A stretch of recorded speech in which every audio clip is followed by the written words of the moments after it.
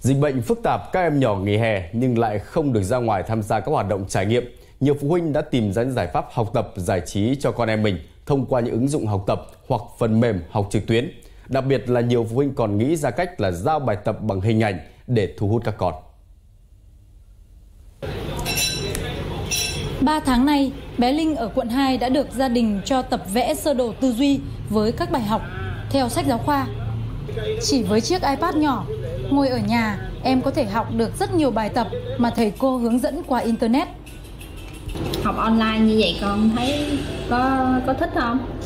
Dạ thích, tại vì mấy cái clip này người ta nói rất là ngắn gọn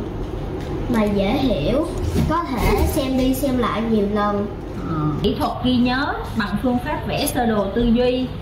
à, con có thể nắm bắt được ý nhanh hơn hiệu quả hơn à, mình rất là hài lòng khi mà trang bị cho con một cái chương trình học online như vậy Nhiều phụ huynh cũng mày mò tìm giải pháp giúp con tự học tại nhà bằng hình ảnh như thế này. Dùng phần mềm vẽ Sketchnote hay là phương pháp sơ đồ tư duy MindMap. Thời gian hè này thì mình tạo cho các con một cái cảm hứng trong việc là hàng ngày con sẽ vẽ sketchnote này, con sẽ vẽ sơ đồ tư duy này, con đọc sách, con kể chuyện và với những cái hoạt động như vậy thì uh, giúp cho con hạn chế xem tivi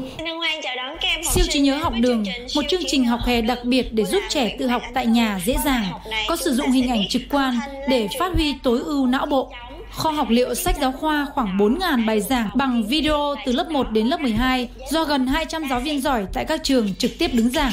Tất cả đều được vẽ bằng sơ đồ tư duy rất sinh động nó làm cho cái thời gian của con cực kỳ rất là tiết kiệm và đặc biệt hoàn toàn là bằng sơ đồ tư duy tức là nó gồm có hình ảnh nó có màu sắc à, nó có à, những cái từ khóa để làm cho con có thể nhớ được cái bài đó dễ dàng và đặc biệt là có luôn cả tiếng Anh Nhằm giúp trẻ có động lực học tập hơn, chương trình siêu trí nhớ học đường còn tổ chức cuộc thi sơ đồ tư duy vì Mindmap 2021 dành cho học sinh từ lớp 1 đến lớp 12. Tổng trị giá giải thưởng lên đến 1 tỷ đồng và sẽ trao thưởng vào tháng 12 tới.